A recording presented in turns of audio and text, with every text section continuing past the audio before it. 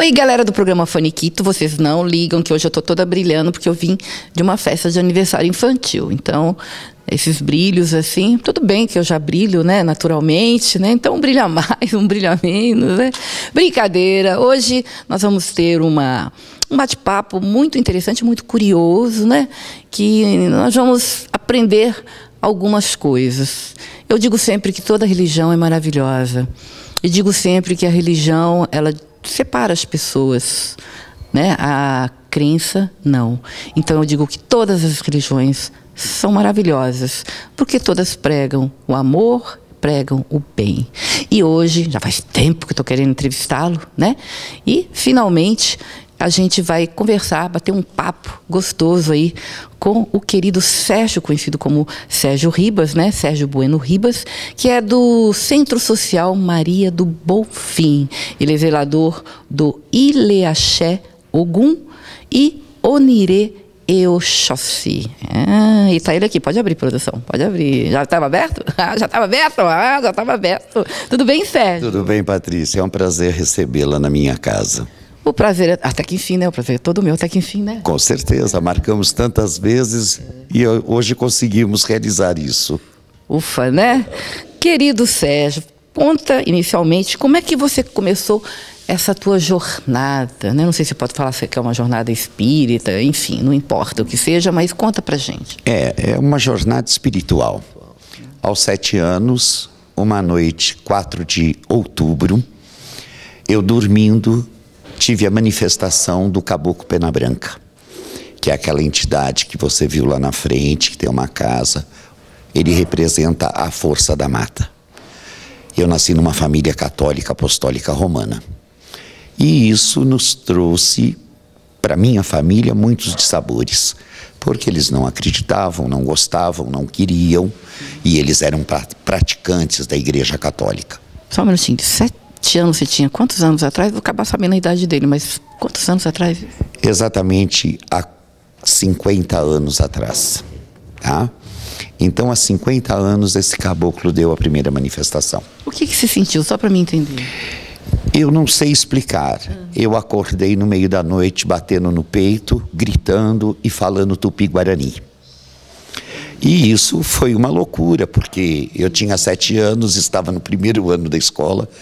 Nós nunca tínhamos ido a um centro, nunca tínhamos ido a outro lugar que não fosse na igreja. Não, e, o, e, o, e o, que, é, o que é mais incrível é uma coisa involuntária. Foi uma coisa você, uma criança de repente manifestar-se você. Quer dizer, não tem como. Gente, que coisa, né? É coisa de Deus foi, mesmo. Foi, para mim, foi uma coisa que eu não conseguia entender. Aí eu fui levado a uma casa chamada Tenda de Umbanda São Judas Tadeu do Caboclo Sete Flechas. Nesta casa, Luiz Fernando Ramos dos Santos, que foi o meu pai de santo de Umbanda, através de um caboclo que ele chamava-se Caboclo Sete Flechas, disse que eu precisava de desenvolvimento espiritual, que aquelas manifestações elas iam ocorrer mais vezes. E realmente foi o que aconteceu. Logo em seguida, eu recebi uma outra entidade que até hoje trabalha comigo, chamada Silvio Marinheiro. E este marujo disse que eu tinha uma missão a seguir e a cumprir. Tanto que aos 14 anos eu abri a casa. A casa foi aberta aos 14 anos de idade e chamava-se Tenda de Umbanda, Ogumegê e Caboclo Pena Branca. Os anos foram passando, a casa foi crescendo. Quando eu fiz 18 anos, eu comecei a adoecer. Adoecer, ninguém achava, fazia aos médicos. Aí nós descobrimos que eu estava com um outro problema espiritual. Eu precisava fazer meu santo. E aí nós procuramos uma outra casa e achei um zelador. E... Explicar o que é o zelador. O zelador é uma coisa que fosse um, um pai de santo, santo, é o é. conhecido como conhecido pai de santo. Conhecido como pai de santo. Aí eu fui a esta casa e o candomblé é uma religião completamente diferente de Umbanda. O candomblé não aceita os espíritos de Umbanda. Eles dizem que os espíritos que se manifestam na Umbanda são eguns, ou seja, espíritos que tiveram vida e morreram. Então são espíritos mortos. E o candomblé, por ser uma energia viva, não aceita. Eu andei em vários lugares até que achei uma casa, uma casa de Angola. A nação do candomblé é uma nação e a minha nação é Angola. Eu fui raspado nesta casa de Angola. Raspado. Raspado. Raspado. Raspa-se. Ah, tá todo pelo, todo pelo, é isso? Sim, raspa-se. Você... Até lá, até lá. tá. Não, não. Você passa por uma iniciação de 21 dias dentro de um quarto que se chama Roncó. E eu fui raspado de roxo mocumbo com matamba. Interessante, ninguém mais lembra disso, sabe por quê? Porque hoje se popularizou os nomes dos orixás no Brasil e a minha nação raspa em 15, ela não raspa orixá. Então hoje todo mundo conhece Roxo Mocumbo por Ogum. Ah, e, esse- conhece, esse é e conhece Matamba por Inhansã. Tá? Então popularizou-se no Brasil o candomblé e eu, quando o povo pergunta hoje de que santo você foi raspado, para que as pessoas entendam, eu digo fui raspado de Ogum com Inhansã. Mas na verdade fui raspado do Inquince Roxo Mocumbo e do Inquince Matamba. Tá? Os anos foram passando, tomei obrigação de ano, tomei obrigação de três, tomei obrigação de cinco. Quando chegou nos sete anos, Ogum queria uma casa. E aí eu entrei num conflito, porque eu já tinha uma casa. Eu tinha uma casa de Umbanda. E Ogum queria uma casa para ele de candomblé. Aí meu zelador disse: agora é que nós vamos ver o que vamos fazer. E aí, nesse meio tempo, os anjos que Deus botou na minha vida me ajudaram muito e nós construímos esta casa. E aí nós fizemos, por causa da mudança do Código Civil, nós queríamos fazer um trabalho social. Não queríamos fazer somente um trabalho espiritual, queríamos também um trabalho social. E aí eu fui aglutinando pessoas e nós construímos a casa com esta finalidade. Com a mudança da lei, eu englobei a tenda de Umbanda, Ogum Megê e Caboclo Pena Branca, o Ile Axé, Ogum Onirê e Oxóssi, no Centro Social Maria do Bonfim. Este centro social surgiu por causa da demanda de nós querermos fazer trabalho social. Então nós precisávamos de estatuto, nós precisávamos de toda a parte legal. Essa parte legal foi feita e aí nós incluímos. Isso misturou as duas casas? Não, porque água e óleo não se mistura. Umbanda e candomblé também não se mistura. Então, mas é isso que eu ia falar. Como é que faz? Então, em determinados dias funciona o banda, e em outros dias é candomblé, é isso? Porque, porque são doutrinas diferentes? Diferentes, pergunto. exatamente. Muita muito, diferente. Muito diferente. Então, nos dias que nós fazemos as sessões de Umbanda, é só sessão de Umbanda. Nos dias das festas de candomblé, é só candomblé. E mesmo dentro da casa, é separado. O tudo que é- faz parte do orixá está no primeiro andar. Os ibás, os assentos de orixá estão nos quartos de santo no primeiro andar, que ninguém tem acesso, só tem acesso as pessoas que fazem parte do candomblé desta casa. E nós usamos o salão, que é comum às duas casas, para fazer as sessões de Umbanda, que ocorrem todos os sábados, às oito da noite. As pessoas, é, é, aqui pelo menos, né, o que você vivencia, o pessoal gosta mais da Ubanda ou mais do candomblé? Eu acho que a Umbanda ela é mais comum no Brasil. O candomblé é mais restrito. Mas hoje a procura pelo candomblé é muito grande. Porque quando você vem a um trabalho de Umbanda, você vê as entidades, você conversa com as entidades, elas te dão conselho, elas te ensinam a fazer um banho de erva para abrir seu caminho, para que você tenha equilíbrio, para que você tenha paz. No candomblé, não. No candomblé, tudo nós vemos através do jogo de búzios. Então, jogamos o jogo de Fá para podermos ver a situação daquele ser humano e qual é o caminho e quais são as medidas que tomaríamos para ajudá-lo espiritualmente. O que a gente ouve falar muito, né? As pessoas leigas, principalmente eu, que sou leiga, a gente ouve muito falar. Eu, eu sempre falar melhor do, da Ubanda porque talvez nem faça sentido, mas acho que as, também as pessoas escutam isso, que o candomblé, que, que mexe, eh, mata muito animal, que faz também coisa, não só coisa boa, mas também faz coisa ruim, né? Então eu acho que do mesmo jeito assim, esse pensamento, acho que a maioria das pessoas também possui esse pensamento. Agora eu pergunto, a, a base, o que diferencia a Ubanda e o candomblé? Assim como tem a religião espírita que fala, né, cadecista, por exemplo, que existe uma vida depois da, da né, da, da, da morte, que você que você é, é como é que fala? É, depois a que você morre, a reencarnação, isso não vinha a palavra. Como é a Ubanda e o Candomblé? Básico, assim. O básico. É, a Umbanda também prega a reencarnação. Hum. É o resgate kármico. Então você veio a esta vida, você está encarnado para você pagar aquilo que você deixou para trás. Então você está tendo uma nova oportunidade para melhorar como ser humano, melhorar o seu caráter, melhorar a sua visão da vida, a visão da caridade. O candomblé é uma religião africana. Ela mexe com a energia pura do orixá. Ela não é uma religião brasileira, diferente de Umbanda. Umbanda é uma religião tipicamente brasileira, fundada por um caboclo chamado Caboclo das Sete Encruzilhadas, no dia 15 de novembro de 1908, através do médium Zélio Ferdinando de Moraes, na cidade do Rio de Janeiro.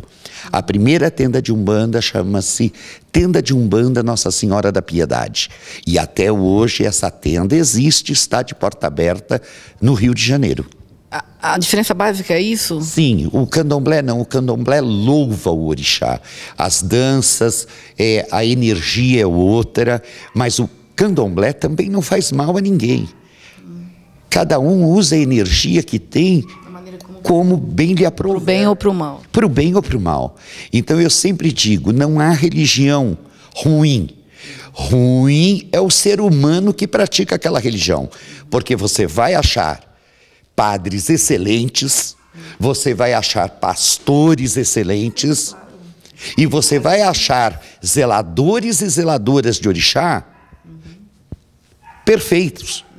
Mas também, em contrapartida, você vai encontrar aquele, aquele ser humano que não está na, vivendo aquele momento, mas para engrandecimento próprio.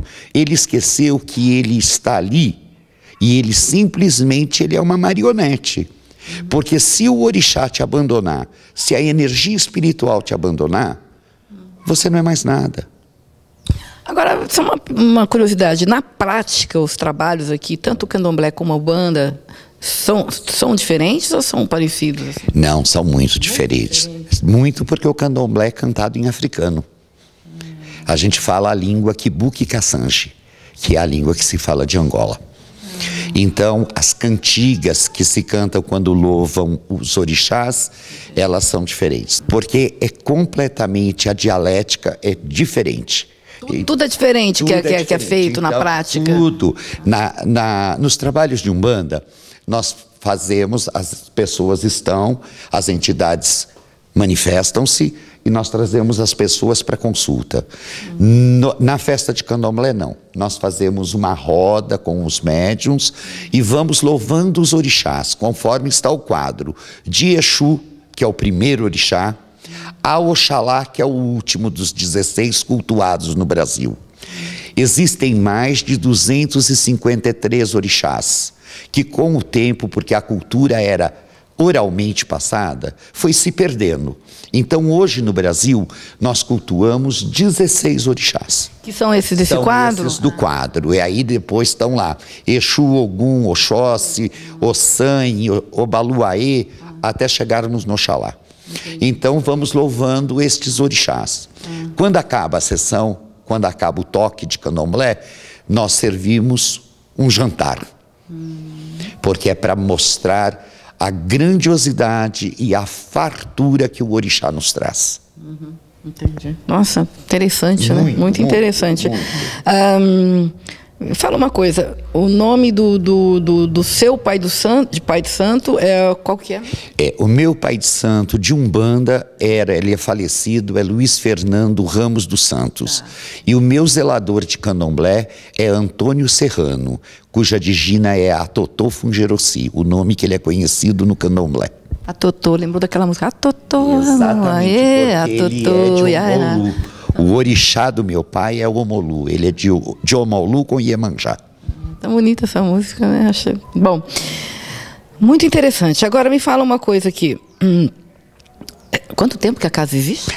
Aqui neste local, na Maria do Bonfim, existe há 40 anos. Eu conheço o, o Sérgio há mais de 40, acho que no mínimo uns 45 anos que eu conheço o Sérgio. Não, né? não vamos contar porque fica feio. Mas ah, é por é aí, é, é, 45 anos. Agora me fala do, um pouquinho dos seus projetos sociais aqui. Então, quando nós viemos para cá, nós queríamos é, duas coisas. Montar uma sala de aula para que a gente pudesse, a gente tem muito professor, a gente tem muita gente de conhecimento, para que a gente pudesse dar cursos. Uhum. Então nós fizemos uma sala de aula e graças a Alfredo Campolino, Deus o tem. que Deus o tem, o dono da Contamec, uhum. ele cedeu todas as cadeiras da sessão de recrutamento dele. Uhum. E nós montamos a sala de aula. E aí começamos, demos cursos espirituais, demos vários cursos. Uhum. E fazemos também uma arrecadação com as pessoas que aqui vêm de cestas básicas. Nós cadastramos as famílias do entorno, visitamos essas famílias e vamos assessorando essas famílias com cestas básicas. Então nós temos 70 pessoas que a gente mantém e quando chega no fim do ano, na festa de Natal, nós fazemos 500 cestas. E essas cestas também são distribuídas para pessoas que já são previamente cadastradas pelo centro social. Doamos roupa, doamos brinquedo, doamos a cesta e ainda fazemos uma festa de Natal na rua. Nossa, que legal. Vamos ver se a gente filma esse ano aí. Vamos vir aqui, que legal. Eu lembro a primeira vez que eu vim aqui, eu, vi, eu vim com a Celu Campolino. Um beijo para você, Celu, que eu adoro. Gosto muito da Celu. Acho ela uma pessoa Celu maravilhosa. Também. Como eu amo a Celu. Celu é uma amiga, ela é mais que amiga, ela é irmã porque eu conheço o Celu desde os 10 anos de idade e até hoje nós somos amigos. Ah, eu sou chonada nela, eu acho ela uma pessoa muito incrível, gosto muito dela. Beijo, Celu! Essa fofa.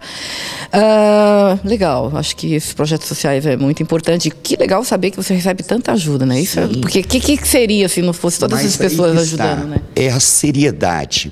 Então eu vou dizer assim para você eu tenho parceiros. Eu não tenho. É, é, hoje eu não falo mais parceiros, eu digo que eles são amigos. Então eu tenho, por exemplo, assim, é, Ana Cecília Ferreira da Silva, tá. Elaine Ferradosa de Paula, hum. o Bego, hum. temos quem mais? Tive outros que já estão no céu, uhum. mas que foram pessoas que me ajudaram muito. Zuzanderi, uhum. o Alcides do Café Lourenço. Então esse e tantas outras que, tantas né, que às vezes a gente até esquece e que ainda virão, que né? virão. Todas essas pessoas sabem da seriedade do nosso trabalho. Uhum. Então, quando a gente vai fazer algum movimento social, eu sempre conto com eles todos. Por quê? Porque eles sabem que realmente a destinação do que eu peço vai para lá. Esta casa trabalha gratuitamente, nós não cobramos nada de ninguém. E nós sobrevivemos da sociedade que a casa tem. O centro social é uma sociedade. Muitas pessoas que frequentam? Muitas. É, nas sessões de Umbanda, no sábado. Então, isso que eu falo, aproveita, já fala e já fala os horários e tudo, e a quantidade de pessoas, conta tudo. No sábado, nas sessões de Umbanda, chego a ter 200 pessoas dentro da casa por sessão. A sessão funciona todo sábado às 20 horas, é das 20 às 22. Hum. E quando há candomblé na casa, a sessão começa antes, às 16. No sábado mesmo. No sábado mesmo, porque o candomblé, ele é mais longo, por louvar todos os orixás, ele é, é um pouco mais longo. Então começa às 16 horas e termina às 22. Importante lembrar também que o Sérgio é escritor, ele já lançou dois livros, está aí na telinha, né? Fala um, rapidamente um pouquinho do que se trata esse livro. É, o primeiro livro é sobre o candomblé de Angola, para desmistificar justamente isso, porque quem não conhece o candomblé acha que o candomblé só faz sacrifício e só faz maldade. É. E na verdade, se você olhar na Bíblia, está hum. lá que Moisés foi e imolou o carneiro e ofereceu a Javé. Há mais de dois mil anos, a igreja já fazia a mesma coisa que a África fazia também. Então, quando nós falamos de sacrifício, nós não falamos de sacrifício humano, nós transferimos a energia para o orixá. É diferente. E aí eu sempre digo isso, que nós estamos precisando mostrar a seriedade da nossa religião.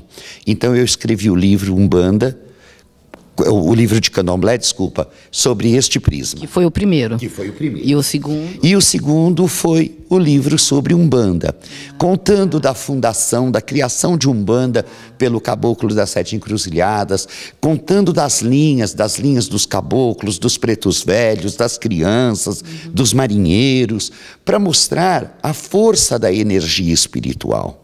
Uhum. Então, quando a gente não conhece do assunto, a gente deve primeiro, antes de emitir parecer, ter conhecimento, porque a maioria das pessoas. Preconceitos. Né? É, critica e tem preconceito.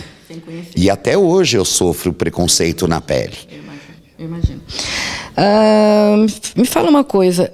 É, qual que é o seu maior sonho? O meu maior sonho é que o Brasil se torne, como diz o Evangelho, a pátria mãe deste planeta. Que acabe a fome, que acabe a miséria, a física e a espiritual. Esse é o meu maior sonho. É, o meu também. Mas eu falo, eu digo sempre que ai, até chegar a isso eu já não vou estar, mas nesse, nesse planeta aqui pelo menos eu não vou estar para ver, porque agora que tá que as coisas estão começando a aparecer e realmente acontecer e modificar, né? Patrícia, pode ser que nós não estaremos mais, mas não importa que eu seja um grão de areia, mas eu vou deixar a minha parte da minha história escrita. Eu não vou deixar a vida me dar marcas. Eu quero deixar marcas na vida. É o meu modo de pensar. Já com esses livros já, já deixou, né? Com certeza, com certeza. Legal. Agora, tem algum Passa o endereço, se tem algum número de telefone de contato, se as pessoas quiserem vir conhecer a casa. Né? É, a, a, nossa casa está localizada no bairro de César de Souza, no Jardim São Pedro. É Rua Maria do Bonfim, 184. O nosso telefone é o 94716 6543 para contato. E a casa está aí aberta. Quem tiver curiosidade e quiser conhecer uma casa de umbanda ou uma casa de candomblé, vai ser sempre muito bem-vindo. O ser humano aqui é sempre muito bem-vindo. Amém. Lembrando que é só pegar a rua João 23, passa rotatório, acho que anda que uns quatro quarteirão? É, são oito quarteirões. Oito, oito quarteirão depois. Depois da rotatória do supermercado na João 23. Vira, vira à esquerda, vindo esquerda. da cidade. Isso. Para o pessoal, né? Que é simples, é fácil certeza. chegar aqui. Com certeza. Gostaria de dizer mais alguma coisa? Gostaria de agradecer, primeiro a Deus, o Criador, agradecer esta oportunidade que você me deu, Patrícia, porque assim, é, ser entrevistado por amigo é fácil. Me senti em casa. Muito obrigado por esta oportunidade. Que Deus e Ogum te dê caminhos, faça da sua vida uma vida de paz e uma vida próspera. Ah, muito obrigada, viu, Sérgio? Você é um amor. Apesar da gente não ter. Quando a gente era mais jovem, eu lembro que a gente tinha mais contato. Mais contato. Pois cada um segue o teu caminho e tal, né? Mas eu sempre te respeitei, sempre fiquei sabendo de, de coisas que você está sempre fazendo, né? Você é uma pessoa dinâmica, está sempre fazendo, acontecendo. E eu acho que é isso mesmo, fazendo a coisa para o bem, ajudando o próximo. Acho que isso não, isso não tem preço, não tem dinheiro que pague, né? Porque nós vivemos num mundo, eu sempre falo e repito, de pessoas que todas se consideram tão boas, né? Mas realmente, quem sabe né, eh, do que a gente é, quem vai nos julgar não é as pessoas que estão aqui, né? É o cara lá de cima. É o Criador. É o Criador. É o E a Criador. gente mesmo que sabe, né? Porque nós Sim. não somos perfeitos, né? Nós sabemos os nossos defeitos, Sim, não é verdade? Mas eu sei que você tem defeitos. muito mais qualidade do que defeitos. E eu espero, sinceramente, já há tantos anos, né? Você já está, já, né? Não tem mais como, né? Já deu certo, há muito tempo. Que, que, que você seja abençoado por todos os santos, por todos os espíritos, por Deus, enfim. E que você continue nessa jornada fazendo esse trabalho lindo, maravilhoso e tão sério, né? Muito obrigado, muito obrigado. Dá um beijinho, eu sempre termino com um beijinho. Deus te abençoe. Amém nós todos. Ah. Que algum te guarde e te proteja sempre. Obrigada, obrigada. Valeu.